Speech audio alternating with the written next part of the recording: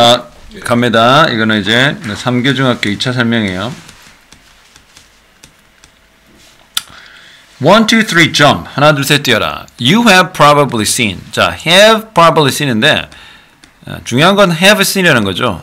have pp는 뭐죠? 현재 완료 시제라는 거죠. 여러분은 아마도 probably 아마도란 말이잖아.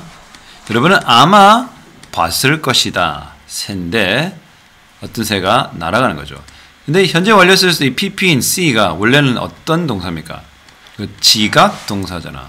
지각 동사는 목적어 다음에 목적보로 두 가지가 가능하지.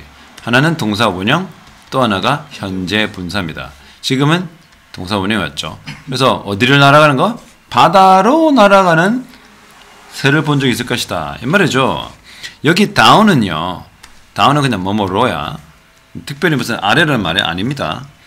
즉 어떻게 바다로 마기 위해서 물고기를 잡기 위해서 바다로 날아가는 새를 본 적이 있을 겁니다. 그러나 have you ever seen 역시 현재 완료인데 이거 특별히 경험인 거를 확실할 수 있겠죠. 어떻게 알아요? ever 때문에 본 적이 있나? 역시 똑같이 어때? 얘도 과거 분사고 과거 분사지만 어차피 지역 동사니까 동사 원형이 나오는 거죠. Jump out of 뭐뭐를 뛰쳐나간다. 즉 물고기를 본 적 있나? 어디 물 밖을 뛰쳐나오는 거. 막에서 새를 잡기 위해서. 그러니까 이 물고기는 새를 잡고 새는 물고기를 잡는 예. 그런 걸 본 적 있냐? 는 없는 것 같은데. 자, well, 아, 자, birds have to be careful. 새는 조심해야 돼. have to는 알다시피 뭐 똑같아요. must하고 같죠. 그리고 뭐 했을 때 여기는 언제나 뜻 아니죠. 예, 시간에 부사절을 이끄는 접속사 선생님이 시부접이라면 시부접 시간에 부사절을 이끄는 접속사 뜻은 알다시피 뭐뭐 할 때입니다. 거대한 아, travel이가 is around. is around은 주변에 있다 이런 말이죠. 새도 어떻게 상황을 보고 까불어야 된다. 예, 이 travel이라는 새가 굉장히 큰데요. 아, 물고기 이 물고기는 잘할 수 있다. to가 뭐뭐? 까지예요. 스님 키인데? 몸무게 내보다 가벼운데. 와 내만하다고 물고기가. 그러나 don't let 뭐죠? 이거는 이건 명령문이긴 하지만 부정 명령문이긴 하지만 이 자체는 사역 동사죠. 그렇죠? 이것의 사이즈는 어떻게 full은 동사 원형으로 온 거죠. 뭐냐? 속이다. 즉 이것이 크기를 그러나 이 크기가 너를 속이게 하지 마라 이 물고기는 빠르고 어떻게 영리하다. 보통 큰 물고기면 뭐, 뭐 둔하고 그럴 거라 생각하는데 예, 그 크기 크기가 너를 속이게 하지 마라. 한번 더 크기 때문에 네가 속지 마라. 라는 말이죠. 물고기는 재빠르고 크다. 이 물고기는 can spot 어떻게? 이 동사입니다.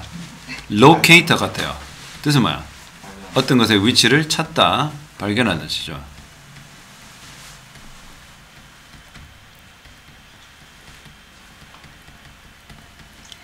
얘는 뭐를 발견할 수 있대요? 나는 셈이다. 여기서는 관형명이잖아. 관사, 형용사, 명사. 그치? 그래서 이 현재 분사가 어떤 역할을 하는 거야? 명사를 수식하는 형용사 역할을 하는 거죠. 나는 새를 볼 수, 이거, 뭐 어떻게, 그, 찾을 수 있고, 발견할 수 있고, calculate만, 계산할 수 있어. 이것의 뭡니까?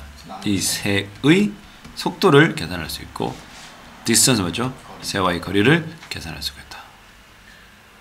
병력 구조죠. spot과 calculate는 동사원형 1, 동사원형 2. When the bird flies nearby, 근처에 날고 있을 때 그 거대한 traveling은 jumps 뛰어 나옵니다. out of the water 물 밖으로 그리고 catches 잡습니다. 이거 뭐 일반 동사 병렬 구조죠. 삼변진 단수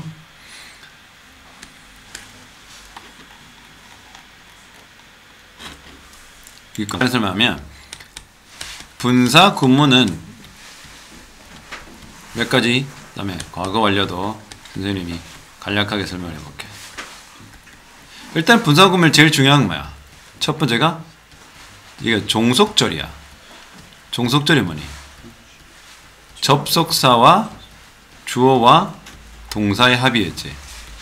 그치? 얘가 뭘로 바뀐 거야? 현재 분사나 과거 분사로 바뀐 건데 사실 현재 분사로 바뀐 게 우선이야. 일단 현재 분사를 먼저 바꿔놔. 그래서 선생님이 그냥 분사 구문이 아니고 현재 분사 구문이라고 하는 이유도 거의 대부분이 이 ing가 많이 나오기도 하면서 일단은 ing로 바뀌었다가 pp로 바뀌거든. 자, 두 번째 분사 구문은 어, 항상 완성절이 에 등장하죠. 완성절 어디더라? 앞에 올 수도 있고 완성절 안에 올 수도 있고 완성절 뒤에 올 수 있죠. 그래서 이런 모습이야. ing 어쩌고저쩌고 콤마 주어 동사 그렇지? 또는 뭐야? 주어 ing 동사 이럴 수 있고 또 뭐야? 주어 동사 ing 이렇게 항상 이 뭐가 지금 중요해? 콤마가 이렇게 한 개 또는 두 개가 반드시 나와 준단 말이지. 이해됩니까? 아, 이거 꼭 기억해야 돼요. 그 다음에 어 뭐뭐 하면서 라는 뜻이든지 뭐뭐 때문에 라는 뜻이든지 뭐뭐 일지라도 그렇죠? 뭐뭐 할때 뭐 이런 의미를 대개 대체적으로 가지고 거. 자, 분사구문도 뭐가 있어? 뭐가 있을까? 태가 있죠. 그렇죠?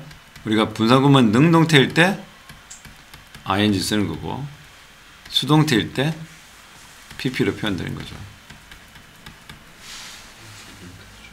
그렇죠?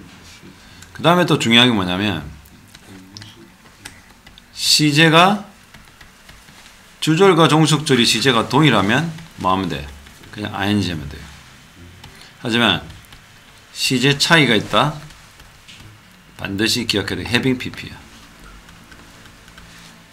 이걸 기억해야 돼. 자, 바꿀 때 시제 차이가 있는지 없는지 확인해야 돼요. 가장 흔한 예를 들어볼게요. as가 가장 흔해요. as she knew a lot about the book. 자, 그녀가 그 책에 대해 많이 알고 있었기 때문에 그렇죠. She told us the story. 이야기를 얘기해줬다. 자, 이 시, 주절의 시효와 종속절의 시효가 같아 달라. 같으면 얘를 생략 가능하고 얘도 예, 왜? 접속사인데 절이 아니기 때문에. 그 다음에 얘를 능동이죠. 뭐로 바꿔요? 노잉으로 바꿔요. 그쵸? 그래서 시제를 어떻게? 여기도 과거고 얘도 과거잖아. 시제 차이 있어 없어?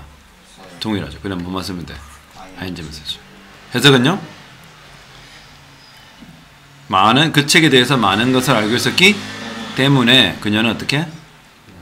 아, 그 우리에게 그 이야기를 얘기 들어줬단 말이죠. 자, 부상은 그런 거고 과거 완료는 알지. 항상 과거를 기준으로 그 이전인 뭐부터 대과거부터 과거까지 이어지는 거죠. 자, 예를 들어서 이런 거 when she arrived at the station 그녀가 어떻게 여기에 도착했을 때 the train had already left 말. 그 기차는 이미 떠났다. 자 시제를 보면 돼요. 그녀가 도착한 건 언제야? 과거죠.